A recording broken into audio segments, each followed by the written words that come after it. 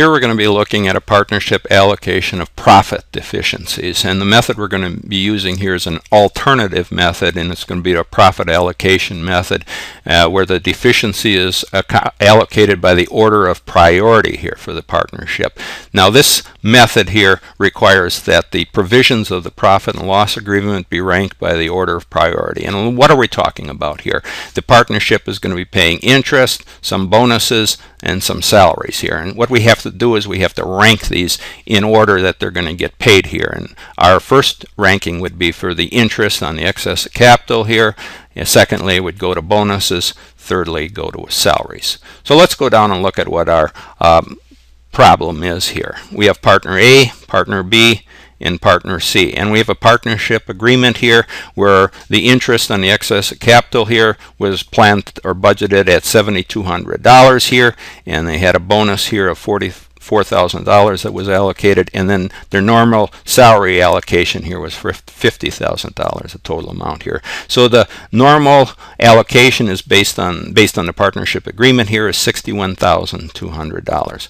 But for the year here, for the period, the partnership only earned $44,000. So the allocated amount here of $61,200 is deficient here by $17,200. So what we're going to have to do here is we're going to have to come up and we have to adjust the salaries for this priority ranking here since we can pay off the interest in full and the bon bonus in full here but we can't pay the total amount here on our salaries. So let's go up and look at our example here.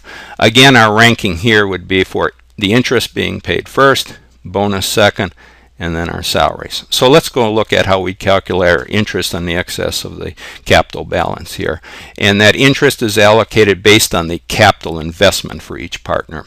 Now the interest rate agreed on for the partnership was 6% on the ending capital balance in excess of $200,000.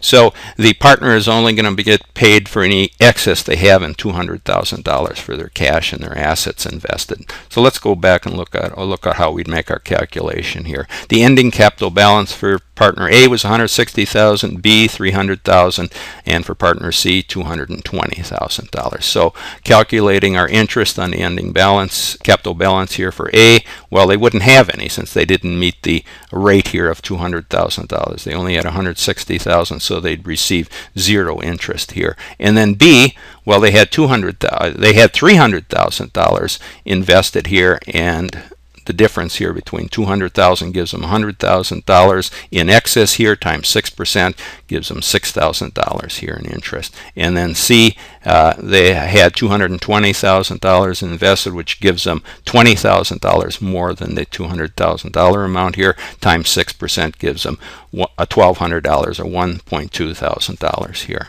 So let's just go up and look at how they were, uh, how it was proportioned out here. Well, partner A got zero, partner B got 6,000, partner C got 1,200. Total amount here was $7,200. And then for our bonus here, that was only agreed on to pay partner C here. And for our bonus calculation, let's just go up and look at it here. They were to receive 10% here times the net income, and this bonus was uh, based on the fact that they would be having to pay it based on the net income after the bonus here. So looking at our formula here, our bonus 10% uh, rate times the net income for the period is $44,000 less the bonus here. So doing our arithmetic here, we just moved our bonus over to the other side of the equation. That was a 10% times our bonus gives us 10% bonus plus uh, the bonus here uh, on this side of the equation equals 100%, so you get 100% of the bonus here, and that would equal $4,400 or 10% times $44,000 here. So our bonus amount here was $4,400 and doing our arithmetic here 100% plus 10% and divide the 4400 by 110% gives us a bonus here of $4,000 and that was allocated here to partner C. Only partner C here got $4,000 so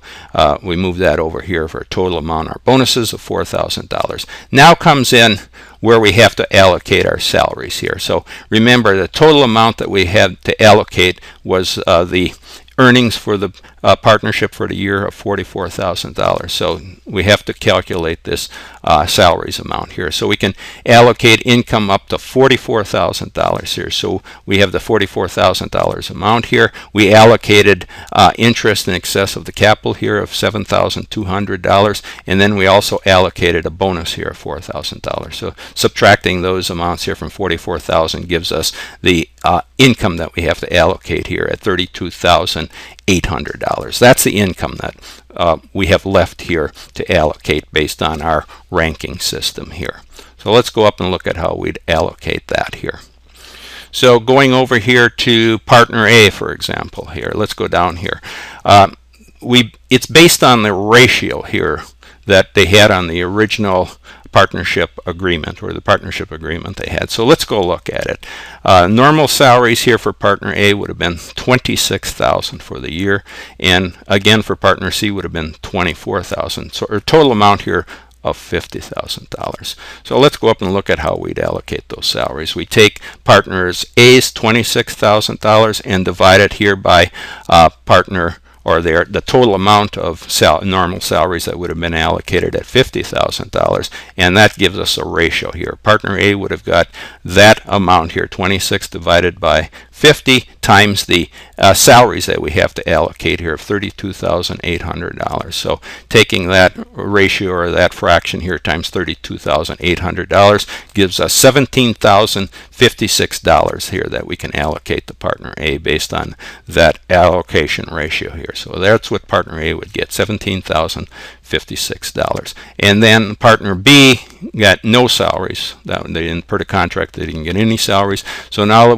partner C here, we got to look at how we calculate that. Well, we do that in the same fashion as we calculated partner A's here. So going down to the original contract here, um, the agreement was that partner C would get paid $24,000 Total amount again $50,000 for salaries for the year. So their fraction of the salaries that they'd be allocated here would be 24, 24 divided by 50 or 24,000 divided by 50,000 and then that fraction again times $32,800 the total amount of salaries that we have to allocate for the period.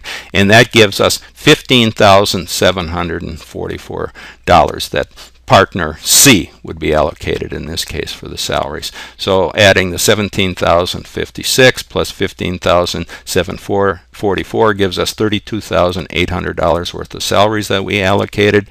And now let's look at the income allocation here. And that's based on this ranking system here for how we pay our partners here. So partner A total amount they would have gotten was for salaries alone here at $17,056. Now that would be income that they'd be allocated for the year here.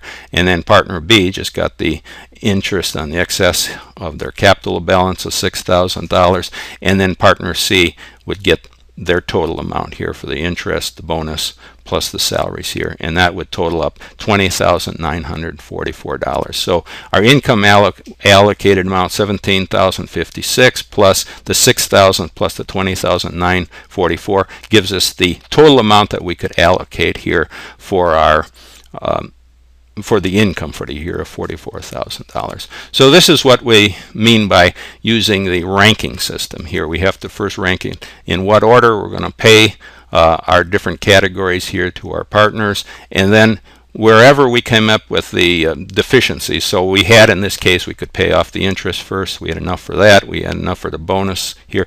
But our salaries, that is where we had to come up with our uh, ranking here and our our distribution amount here. And again, the salaries that was based on the uh, going back to our original or partnership agreement here that we agreed on for our salaries. So we just used the fraction here that we could, uh, that we had a normal amount here. In this case, uh, normal amount was 26,000 for A and total salaries of 50,000. So that was the fraction they would receive times the amount of salaries that we could allocate for the period here. And that is our ranking system here using the uh, partnership allocation of uh, profit deficiencies.